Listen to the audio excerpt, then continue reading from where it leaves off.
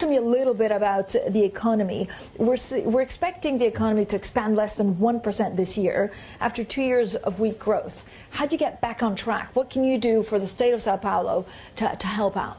Uh, working hard, especially in Sao Paulo. The economy in Sao Paulo grows over the Brazilian uh, growth. And uh, this year, probably 20, 25% over the Brazilian uh, growth.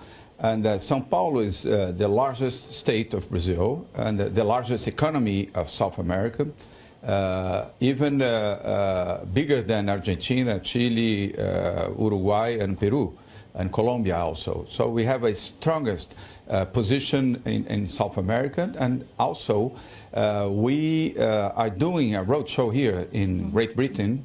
Uh, to convince uh, uh, investors to go to Sao Paulo and to make new investments in our industry, in our science and technology sector, and also in the agribusiness. And uh, if I can add, Francine, uh, especially in Sao Paulo, uh, Sao Paulo is a nation in a nation.